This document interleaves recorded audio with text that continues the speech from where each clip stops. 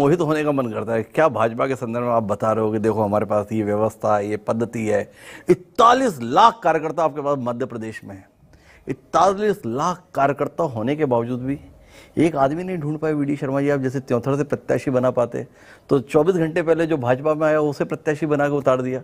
जब समर्पित मेहनती कार्यकर्ताओं को अवसर मिल रहा था भारतीय जनता पार्टी में तो 24 घंटे पहले कांग्रेस से आया हुआ शख्स मैदान में क्यों उतरा? इसका कोई उत्तर तो वी डी शर्मा जी के पास होगा। हिमांशु जी इसका उत्तर बेहतर है कि भारतीय जनता पार्टी राजनीति करने के लिए मैदान में है।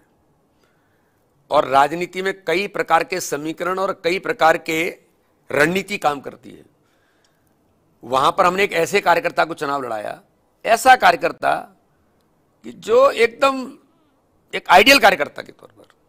और जब उस कार्यकर्ता से हमने कहा तो उसने सहज रूप से कहा कि आज के समय के लिए या हमें एक रणनीति के हिस्से के साथ श्रीनिवास तिवारी जैसा रीवा और बिंद का एक ऐसा नेता, अगर ऐसे परिवार के व्यक्ति को भारतीय जनता पार्टी से जोड़ना अगर आज के हमारे लिए लगता है तो उससे भी चुनाव लड़ाया जा सकता है और हमने चुनाव लड़ाया है।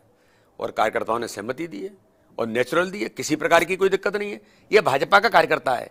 तो अपने संगठन को बढ़ाने के लिए, अपने, देखिए, ये ऑर्गेनाइजेशन तो ऐसे होते हैं कि ये दिन प्रतिदिन लगातार बढ़ाते रहना चाहिए और उसके लिए जो रणनीतिक तैयारी करनी चाहिए वो होती है।